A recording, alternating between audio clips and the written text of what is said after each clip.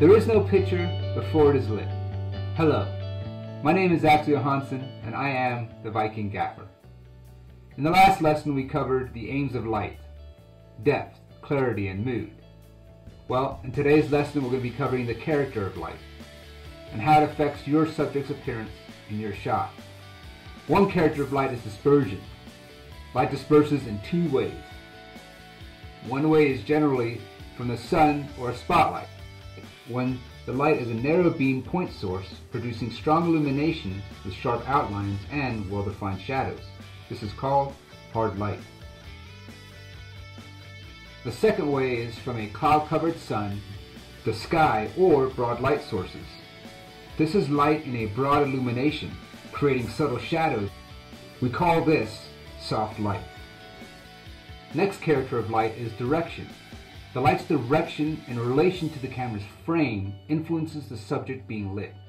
A light from the front would be a frontal light.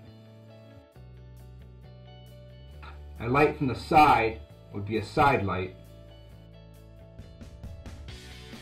And a light from the back would be, you guessed it, a backlight. Frame a shot from the front of the subject, directing the light as a three-quarter frontal light, and you get a three-quarter frontal lit shot.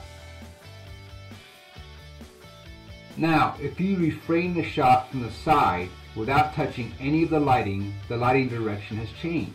Why? Because you changed your camera frame in relationship to the light's direction, influencing your subject's appearance on camera in a new way. Move the frame once more without touching any of the lighting, and the lighting direction changes yet again affecting your picture in an entirely different way. Color temperature is another character of light. This is where the color of light changes in varying degrees.